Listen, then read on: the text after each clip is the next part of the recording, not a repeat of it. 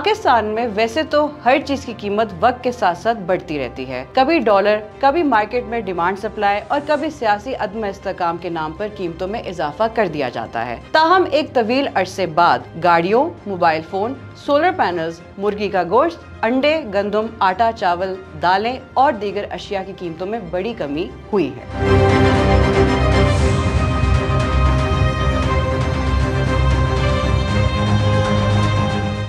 इदारा शुमारियत के मुताबिक इस हफ़्ते महँगाई की शरह में एक फ़ीसद कमी हुई, जबकि सालाना बुनियादों पर हफ्तावार महँगाई की मजमू शरह कम होकर चौबीस अशारिया सैंतीस फ़ीसद की शरह पर आ गई है, जो कि कई माह बाद कम हुई है। गुजशत एक माह में गाड़ियाँ मैन्युफैक्चर्स करने वाली मुख्तलिफ़ कंपनियों ने अपनी गाड़ियों की कीमतों में बड़ी कमी की है। गाड़ियों की कीमतों में तीन लाख रुपए से पंद्रह लाख तेरह हज़ार रुपए की कमी की गई है। मोबाइल फ़ोन की कीमतों में भी बड़ी कमी वाक़ हुई। एक माह में छोटे मोबाइल फ़ोन की कीमत में बीस हज़ार रूपए तक की कमी हुई है, जबकि बड़े स्मार्टफोन्स की कीमतों में अस्सी हज़ार रूपए तक की कमी हुई है। मुल्क भर में गंदम की कीमत में दो हज़ार रूपए फ़ी मन की कमी हो गई है, जबकि 20 किलो आटे का थैला अट्ठाईस सौ रूपए ऐसी कम होकर उन्नीस सौ रूपए का हो गया है। हुकूमत की जानब से तंदूर पर मिलने वाली रोटी और नान की कीमतों में पाँच रुपए की कमी की गई है। पाकिस्तान में इस वक्त चावल की कीमत तीन सौ रूपए फ़ी किलो से कम होकर दो सौ चालीस रूपए फ़ी किलो हो गई है, जबकि दालों की कीमत में साठ रूपए से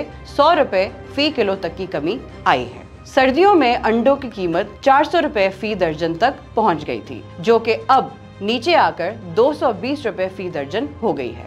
दूसरी जानब, ज़िंदा मुर्गी की फ़ी किलो कीमत 10 दिन कबल साढ़े चार सौ रुपए से जायद थी, जो कि अब कम होकर तीन सौ चालीस रुपए फ़ी किलो हो गई है।